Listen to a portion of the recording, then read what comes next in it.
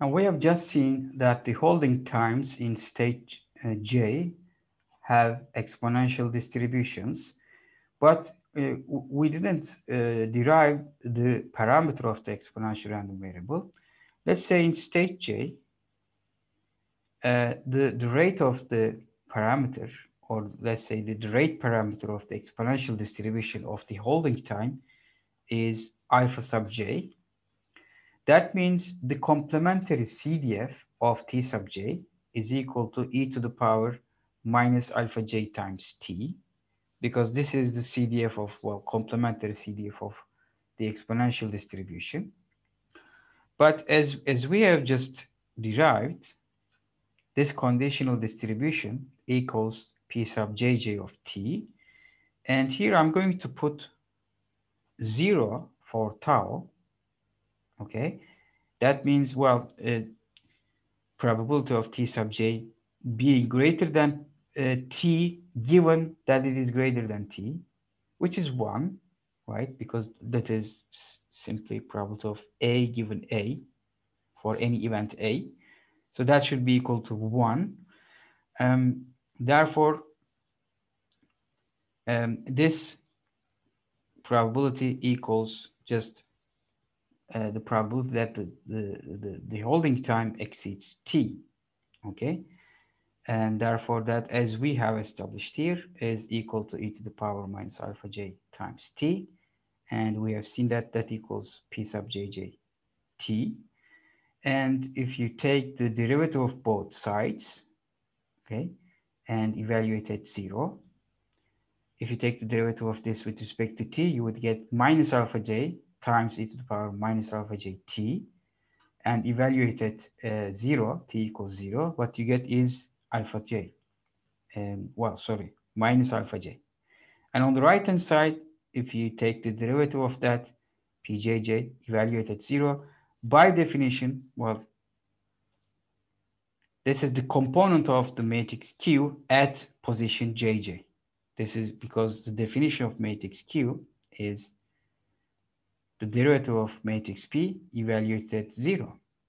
Therefore, if you take the derivative of um, this component Pjj and evaluate that derivative at time t equals zero, what you should get is the component of q at that location, q sub j, uh, q sub jj. So here I have minus alpha sub j equals q sub jj. Therefore, alpha j, uh, alpha sub j equals minus q sub jj. Okay, so what does this say? This says that the holding time in state j for a continuous time Markov chain is an exponential distribution with the rate parameter equal to minus qjj. Okay, remember qjj, that's an that's a component on the diagonal in q that should be negative. So minus qjj is positive as expected because it's the rate parameter of an exponential distribution. So this is an exponential distribution and the mean holding time in state j should be 1 over the rate parameter. So that is equal to minus 1 over q sub jj. Okay, next we look at the transition probabilities um, in the sense that uh, you know a transition has occurred and we are after the probability that uh, we, we transition into a specific state. Okay, consider this probability. x of t equals i is known and i different than j is known. Given these two the probability that x of t plus h is equal to j. So what does this mean? Um, when h is small, let's, let's say h is small, this means you make a transition within the interval from t to t plus h, okay? And you exit state i and you enter state j. So we define this as v sub ij of h. If we take the limit of this as h decreases to zero, then this gives us the probability that given the continuous time Markov chain exits state i, it enters j. Okay, this is different than p sub ij. Why? Because p sub ij defines a probability of starting from i and ending up in state number j within that time, let's say t.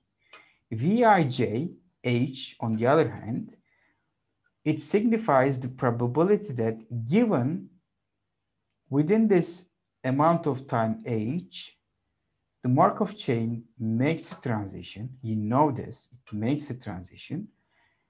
This gives you the probability that that transition is into state j. So there's a distinction between v sub ij and p sub ij. Okay, so if you write uh, v sub ij using conditional probabilities, that's equal to, well, we have the definition here. And that's equal to, if you just apply the definition of conditional probability, that is uh, the probability of x of t plus h equals j and x of t equals i and x of t plus h is not i divided by the probability of the condition, condition being here. So that is x of t equals i and x of t plus h does not equal i. Okay. Now at this point, um, you see this term and this term, these events are common on, on both the numerator and the denominator. So what I'm going to do is I'm going to condition on this information. So that will be x of t plus h equals j, x of t plus h does not equal i, given x of t is equal to i times the probability that x of t equals i. Okay, so I've just used Bayes rule or the definition of conditional probability. And on the uh, denominator, I have probability of x of t plus h doesn't equal i, given x of t equals i times the probability of the condition, which is x of t equals i. Well, of course, this and this will cancel out. So what I, what I will have uh, at the numerator is I make a transition from i, I start from i into j. Okay? And explicitly, I know that i and j are different so that I can write this probability because when they are equal, uh, that's a different story. And here in the denominator, I have probability of x of t plus h is not equal to i given x of t is equal to i. So this is the probability of making a transition. It doesn't specify the ending state, the next state, but it just says you will make a transition. You will exit the state for sure within time h. So that happens with probability 1 minus p sub iih because by definition p sub ii is the probability that you do not leave state i. Okay, so this is equal to V sub ijh. And again, we would like to take the limit of this as h goes to zero. And if you divide both the numerator and the denominator by h and take the limit as h goes to zero, on the numerator you get q sub ij by definition. Again, by definition, in the denominator you have minus q sub ii. And this, this limit we define as v sub ij. As you see, this does not depend on h because we have taken the limit. Okay, so what does this mean? So we have derived something. What does what does this this mean? Recall our definition here, v sub ij of h. Um, the probability of entering into state j, where j is different than i, given that I was just in state I and left it. Okay, that is the probability Vij. So the probability that the Markov chain transits into state J, transits into J, upon exiting I. Okay, this is what we have derived. That is equal to the ratio of the transition rate from I to J to the total transition rate out of I. So if I have a state i, and I know that at a specific time, it makes a transition out of state i, the Markov chain, okay? So let's say it goes to three different states. Let's say the rate from i to state one, state two, and state three are, let's say, qi1, qi2, and qi3.